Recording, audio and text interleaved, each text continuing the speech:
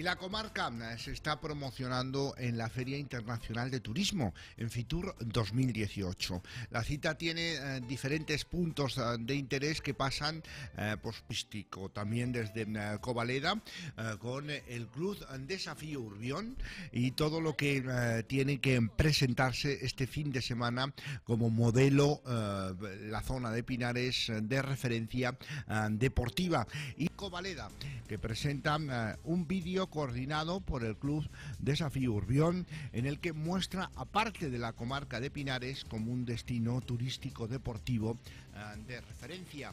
Varias son las actividades que desde el Club eh, Desafío Urbión se están organizando a lo, largo del año para dar a conocer eh, esas posibilidades eh, que tenemos en torno al turismo, al turismo deportivo.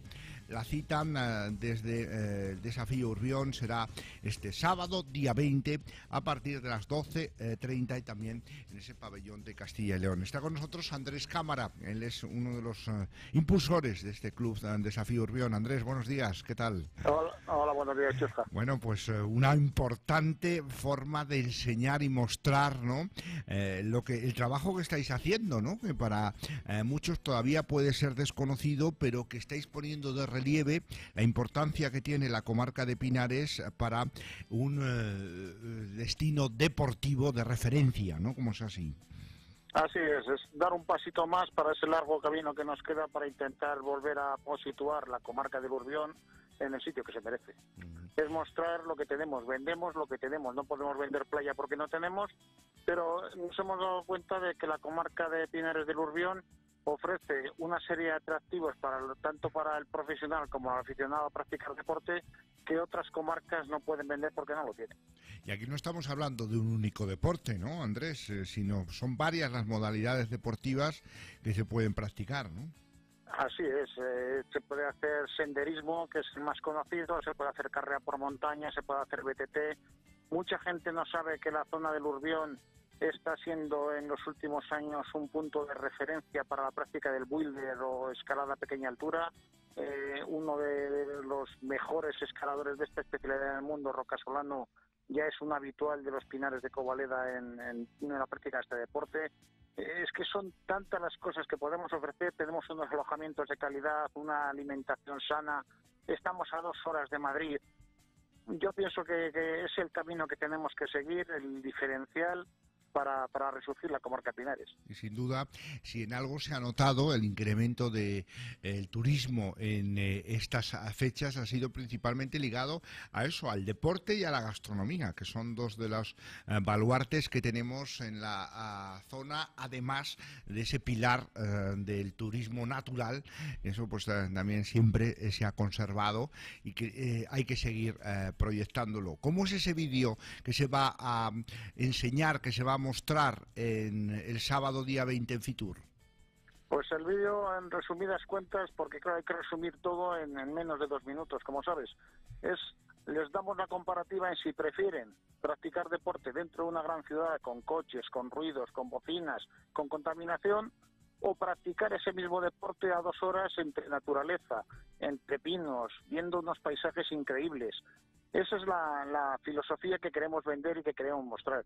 Mm, claro, que, se vea la diferencia ¿no? que hay entre una cosa y otra y para un deportista, para quien gusta practicar el deporte, pues hay una diferencia sustancial ¿no? entre hacerlo en la ciudad y hacerlo en estas zonas privilegiadas que tenemos. Es que la diferencia es brutal. Nosotros nos hemos dado cuenta a través de desafíos bien de la carrera de montaña. Como bien sabes, por ejemplo, este último año tuvimos corredores de 33 provincias y te puedo asegurar que un 80% de ellos desconocían en absoluto que existiera eso aquí. Desconocían que existían esos pinares, esos paisajes. Prueba de ello es que en un porcentaje altísimo, posteriormente han vuelto con sus familias a pasar semanas enteras, han pasado venido fines de semana y es raro el mes que no viene alguno relacionado con la carrera a mostrar y a volver a conocer estas zonas. El verano pasado tuvimos la experiencia que incluso corredores que estuvieron el año anterior, en la tercera edición, estuvieron una semana en unas en unas casas rurales en Vinuesa y vinieron simplemente para entrenar la carrera y vinieron con toda la familia. Porque desconocían la existencia de lo que tenemos, del tesoro natural que tenemos aquí en el Urbión. Y que eh, sin duda pues se convierte en un atractivo a la hora de realizar estas prácticas. ¿Cómo habéis diseñado el acto? ¿Quién va a estar eh, eh, en la presentación? Pues el acto lo hemos diseñado porque, claro, hablar en público no todo el mundo se atreve, como bien sabes. Y entonces hemos pensado que lo mejor era volver a estar Javier y yo, los que presentamos el proyecto en el concurso Starter del Hueco, y mostrar. Tenemos 20 minutos para hacerlo, pondremos el vídeo, después detallaremos poco a poco las actividades, los kilómetros de pista forestal que hay, los kilómetros de vereda, la, amabilidad de la gente, los tesoros que tenemos aquí en Urbión y que, por lo que nos hemos dado cuenta, mucha gente no los conoce.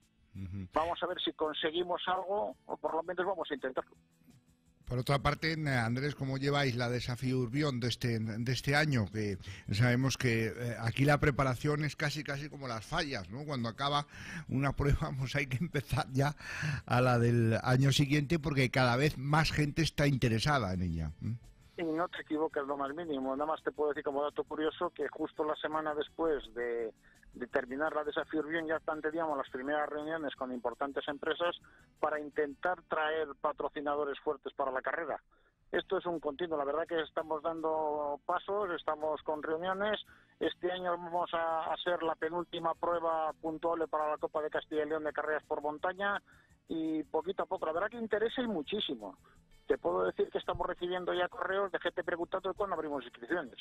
Así que eso, demuestra que hay mucha gente interesada en estar ahí, en poder participar y en hacer eh, esto todavía más, eh, más grande. Andrés, sí, pues, porque eh, al fin y al cabo es participar. Te, hablas con mucha gente y es lo que manifestado en alguna ocasión. De los 250 corredores que toman la salida, a disputar la carrera no corren más de 20. El resto, su reto es acabar la carrera. Las fechas mantenemos, ¿no? Las de mes de septiembre, ¿no? Segundo domingo de septiembre, este año cae el día 9 de septiembre, es la, la desafío Urbión, aparte de otro montón de actividades que tenemos a lo largo de todo el año. Alguna novedosa que ya tenemos informando. Muy bien, pues presentación de ese vídeo ah, promocional eh, de lo que son esas actividades deportivas que en la zona de Urbión, dentro de la comarca de Pinares, están teniendo tanta aceptación eh, por parte de aficionados, por parte de gente que gusta eh, de este deporte sano, natural y en lugares tan privilegiados. Andrés, muchas gracias, que tenga una repercusión como la que vosotros deseáis, eh, como la habéis venido trabajando. ¿eh? Gracias a todos vosotros por dar, hacer de altavoz de todas estas actividades. Hasta pronto, Andrés Cámara, desde eh, el desafío Urbión, desde el club que va a presentar este sábado a las doce y media, sábado 20, Ontoria del Pinar, eh, con eh, la Santander Mediterráneo, con ese camino natural, invitación por parte del Ministerio, entrega del certificado del municipio Starlight a Muriel Viejo, en esa potenciación también del astroturismo. Hablamos de la orientación también y esa preparación que se está haciendo por parte de la Federación eh, Española para una gran prueba que va a estar también presente entre eh, Navaleno, entre eh, Covaleda y otros municipios de la comarca. Es decir, que tenemos muchos argumentos para seguir hablando de esta comarca en proyección para el turismo activo en sus distintas versiones.